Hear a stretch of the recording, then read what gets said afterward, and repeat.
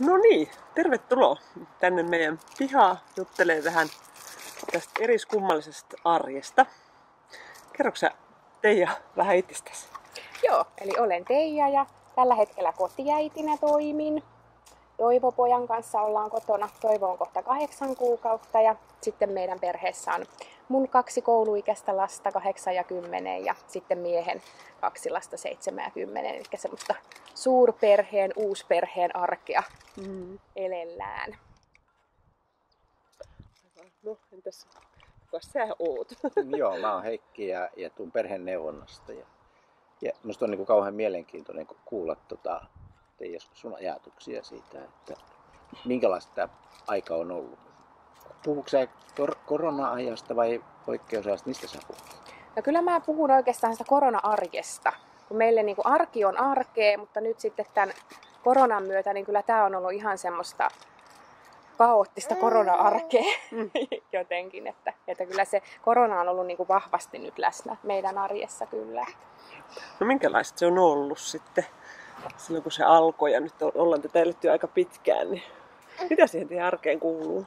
No joo, kyllähän se aika, aika rankkaa on ollut, että on ollut siinä neljä, neljä koululaista enempi tai vähempi sitten etäopetuksessa ja sitten vauvalle, vauvalle yrittänyt keksiä vähän tekemistä, että, että kyllä siinä on, on ollut haasteita puolin ja toisin, että, että tietysti semmoinen tietynlainen niin kuin seinien sisällä oleminen, että se on niin kuin muuttunut ja sitten sosiaalisena ihmisenä, aktiivisena ihmisenä on meiltä niin kuin jäänyt sellaiset vavvakahvilat ja vavvakerhot ja muskarit, mitä kauheasti odotettiin tähän kevääseen, että nyt päästäisiin Toivon kanssa semmoisiin, niin ne on kaikki jäänyt pois. Et yhtäkkiä se arki muuttukin ihan täysin, että me ollaan tässä niin kuin neljän seinän sisällä ja sitten täällä on yhtäkkiä kaikki lapset koolla. Tai meillä on sillain, että, että joka toinen viikko on kaikki lapset ja sitten joka, joka viikko on sitten mun lapset. Ja sitten Toivo on tietysti siinä, siinä sitten koko ajan, että seitsemän henkeä enemmän tai vähempi läsnä. Että kyllähän siinä sitten räiskyy ja paukkuu, kun koko ajan ollaan mm. yhdessä.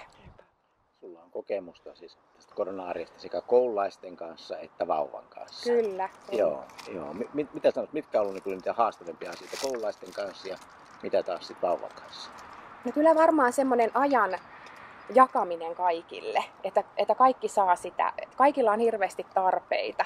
Et koululaisilla on niitä jo ensinnäkin niin kuin läksyjen ja koulutehtävien kanssa, vaikka siellä opettaja onkin niin kuin toisessa päässä läppäriä, mutta, mutta semmoinen, että, että oot kaikille läsnä ja kuuntelet kaikkia ja, ja sitten vaan vaan totta kai omansa ottaa, haluaa sitä seuraa ja, ja muuta, että, että kyllä niin kuin syliä ja läsnäoloa ja semmoista tässä on paljon jaettu, että koko ajan on joku siinä iholla kiinni. Mm, mm. Että se, on, se on ollut ehkä itselle semmoista, että välillä tuntuu, että vähän voisi niinku, menkääs vähän kauemmas. Niin.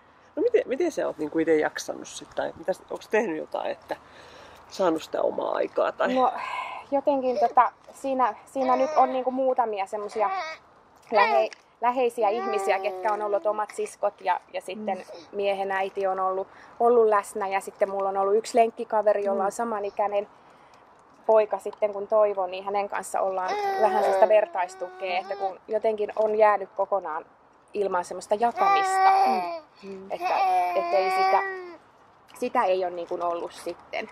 Mm. Niin. Mutta että ehkä sellaista, sellaista hengittelyä itsellekin mm. sitten pitää, pitää suoda välillä, mm. että jaksaa. Mm. Mutta että kyllä voimavarat on ollut tosi koetuksella.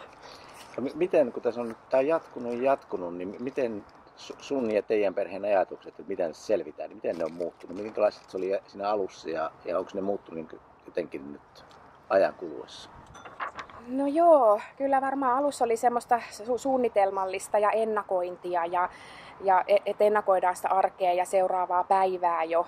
Mutta tota, nyt, nyt, nyt sitten tässä korona, koronan loppusuoralla niin ollut ehkä enempi sitä vaan, että kun nyt vaan iltaan asti jaksetaan. Hmm.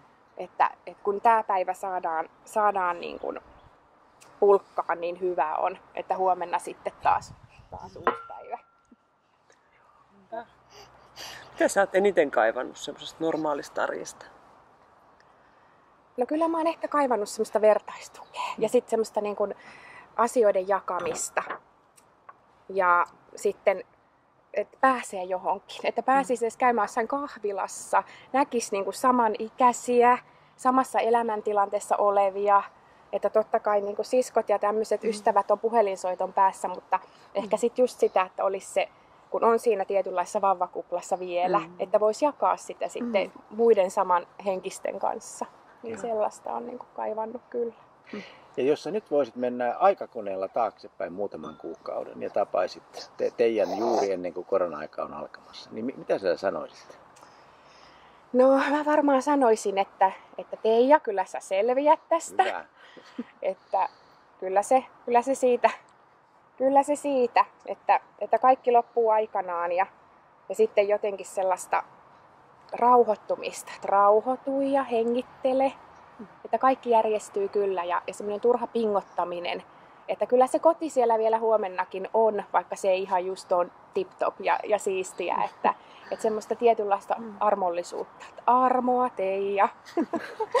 tosi, tosi hyvä, hyvä kuulema. Niin kuin sanoit, että hengittelyä ja, ja niin. rauho, rauhoittumista ja, ja sitä armollisuutta itseä kohti. Kiitos vieraille ja oikein mukavaa kesää, niin mukavaa kuin se näissä olosuhteissa on mahdollista. Heippa!